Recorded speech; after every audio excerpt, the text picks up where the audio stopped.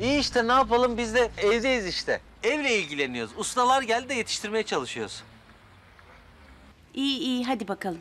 Kolay gelsin canım. Ben Mehmet'le yemek de yollayacağım afiyetle yersiniz artık. Zahmet etmeseydin biz gelir yerdik. Ne zahmeti canım benim.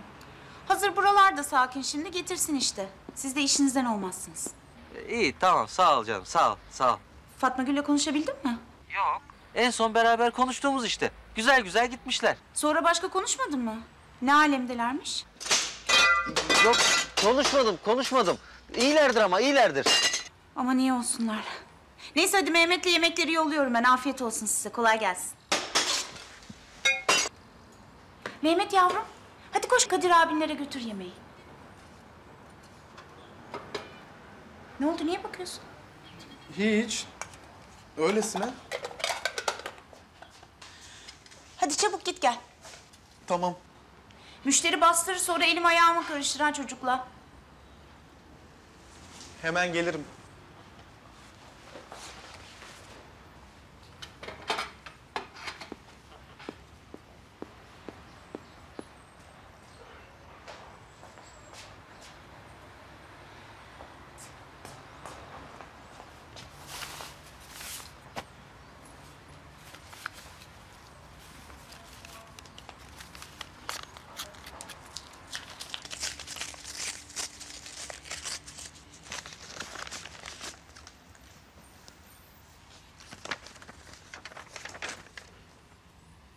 Sana yazdığım kim bilir kaçıncı mektup Fatma Gül. Hala senden ne bir cevap ne de bir işaret alabildim. Mektuplarımı okuyup okumadığını bile bilmiyorum. En azından bunu bile bilseydim keşke. Bana ceza vermek için mi yazmıyorsun? En kötü ihtimalle 13 Haziran'da duruşmada görüşeceğiz seninle. Güzel yüzünü görebileceğim. Karşı karşıya gelebileceğiz. Seni göreceğim Fatma Gül. Önümdeki bir buçuk ayı beklemem için bir umudum var. Yaşamam için bir sebebim var. Sen olmasan, seninle bir gün kavuşma ihtimalimiz olmasaydı bu dört duvara dayanamazdım inan bana. İyi ki varsın Fatma Gül. Canım benim. Seni çok seviyorum.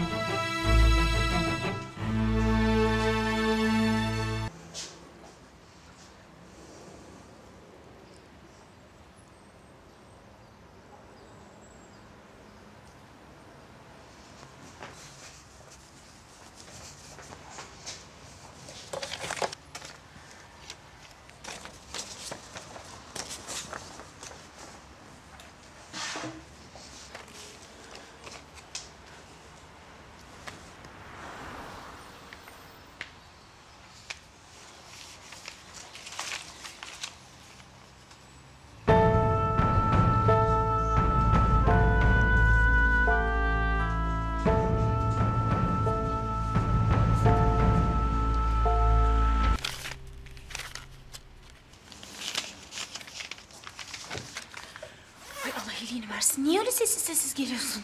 Ödümü koparttın ha.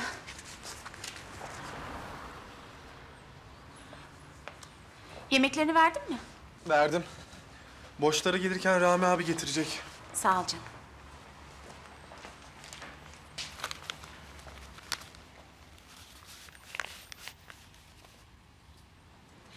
Şu masa iki çay içti ama ben yazmadım.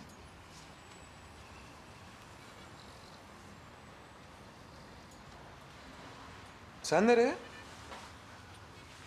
Bir işim vardı halledip geleceğim. Ya şu bakkalın yanında posta kutusu var mı? Bilmem.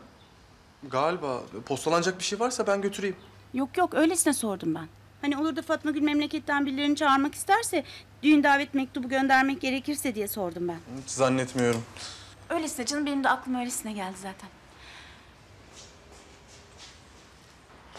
Aman gözün kulağın onda olsun tamam mı? Tamam. Bu arada uyanırsa emziği var masanın üstünde. Verirsin tamam mı? Peki. Hadi bakalım.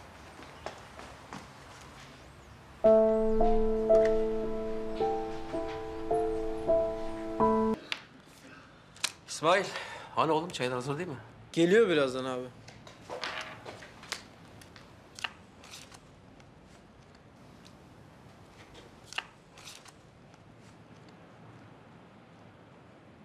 Bu iş buraya kadar.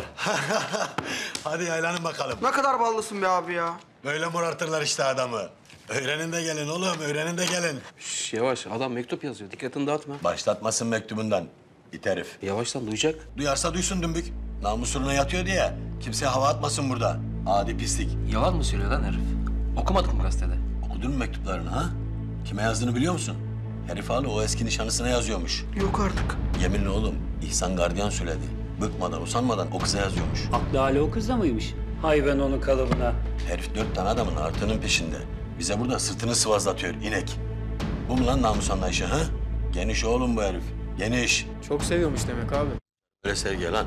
Sen aşkından ölsen dahi başkasının kirlettiği kıza döne bakar mısın lan? Ben boynuzlu muyum abi ya? Daha ne müdafaa ediyorsun o zaman seviyordur diye?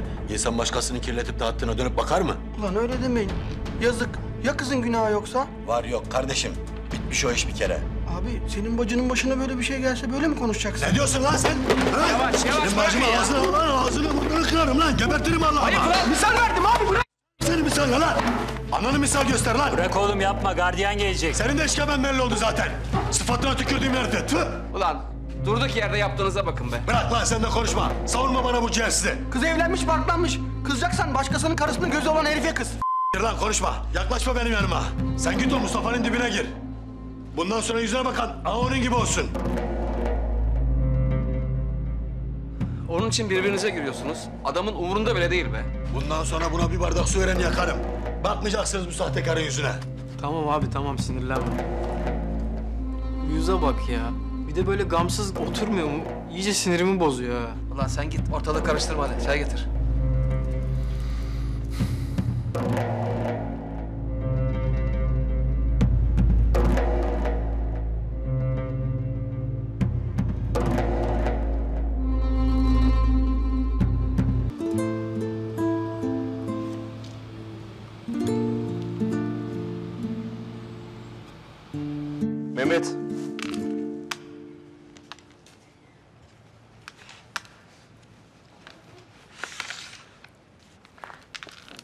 Mustafa Nalçalı.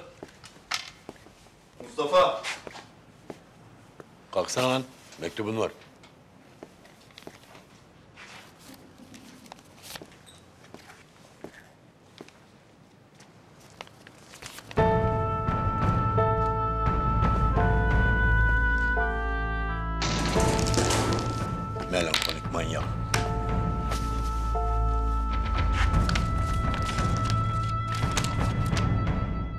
Mustafa, sana herkesten gizli bu mektubu yazmaya mecbur kaldım.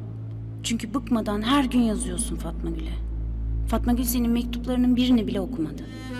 Hepsini yırtıp attı. Ne olur artık ona yazmaktan vazgeç. Fatma Gül Kerim'le çok mutlu. Seni çoktan unuttu. O bambaşka bir hayata hazırlanıyor şimdi. Yakında Kerim'le gerçek anlamda evli olacaklar. Mayıs'ın beşinde düğün yapacaklar. Fatma Gül Kerim'in gelini olacak. Onu gerçekten seviyorsan mektuplarınla rahatsız etmezsin. Bu yazdıklarım canını çok yakacak biliyorum ama umudunu kes. Boş yerlere kapılma diye söylemeye mecburum ben. Lütfen ısrar Kanalımıza abone olarak tüm videolardan anında haberdar olabilirsiniz.